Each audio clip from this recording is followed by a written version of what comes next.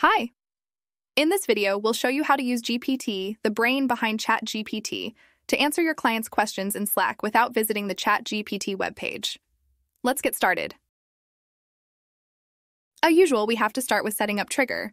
Our trigger will be New Direct Message in Slack. Click the plus sign to add new module and look for Slack. Now we need to choose a specific trigger. What we're looking for is the New Event option. It's an instantaneous trigger, so it will activate our scenario immediately after the event occurs. Go ahead and click New Event from the list of triggers. Now we need to create a webhook. Click the Create a Webhook button. Name your webhook and select New IM Message from the drop-down menu for the event type. Also, make sure you have two Slack accounts, one for yourself and one for your AI assistant. If you already use Slack, you already have an account. You just need to create another one for your AI assistant. Before clicking the Create a Connection button, make sure you are logged in the browser with your AI assistant account. Make needs permission to access the Slack workspace. Click Allow. Now just fill in the field for connection name and click on Save, then click OK. Now let's test the trigger. Right-click the Slack module and choose Run this module only. Let's jump on Slack. Log in using your own credentials and start a chat with your AI assistant. Go ahead and type a test message and send it. Now, let's go back to Make to check the result. Pay attention to the user output, which represents the ID of your Slack user account. We'll need it later, so make sure to save it. Now let's add OpenAI module. This module will be responsible for generating answers to our clients' questions.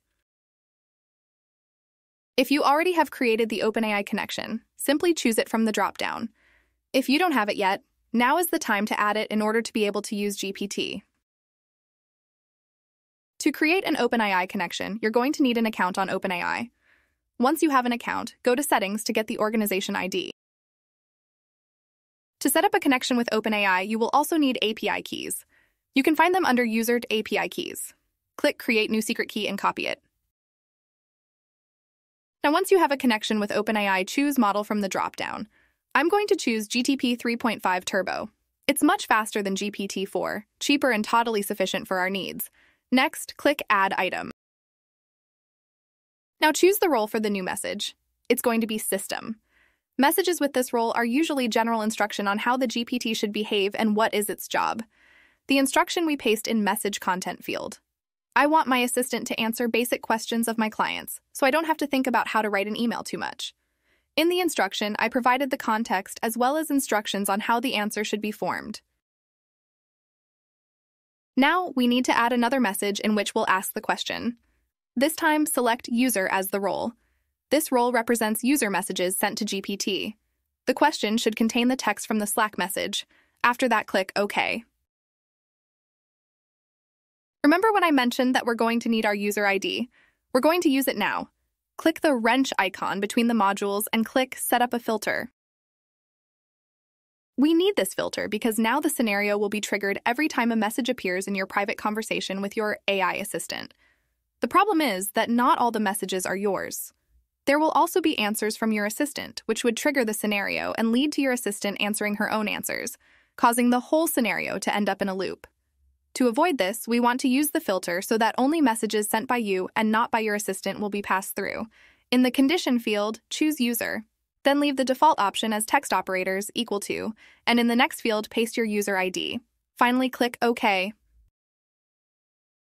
Now we need to add another Slack module. This one's going to be in charge of sending the response from OpenAI directly to the private chat with the AI assistant. This time, choose Create a Message. Now you need to choose which account to connect to Slack. What you need is your AI assistant connection. We have already used it in the trigger module, so you can use this one. But based on my experience, I recommend creating a new one, even though it's still the same type of connection to the same account. The thing is, something funny happens to the permissions when you use the same connection for the create e-message answer, and the action simply doesn't work as expected. Now let's configure the Slack module. Set the channel type to IM channel. Then, from the User dropdown, select your own username. Make sure to choose your username and not the AI Assistant's username. In the text field, enter the answer from OpenAI. After that, click OK.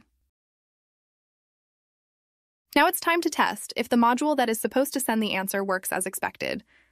Right click on the Slack module and choose Run this module only. Let's write a test message and then click OK.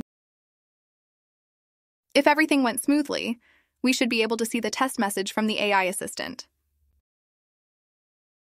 We're almost done. Save and turn on the scenario for the ultimate test. Now let's send to the client's questions to get the answer that we can copy and paste with minor tweaks into the email thread with our client. And we've received the answer based on the context that was provided earlier in the prompt. And that's it. Now you've got your very own AI assistant to help you prepare answers for your client's questions. No need to overthink or waste time wondering if these are the right words to use. Plus, you can easily communicate with her through Slack, which is extra convenient if you're already using it daily. Join my newsletter for tools and automation tips to build and automate your digital solo empire. Sign up at solonauta.com. See you in the newsletter.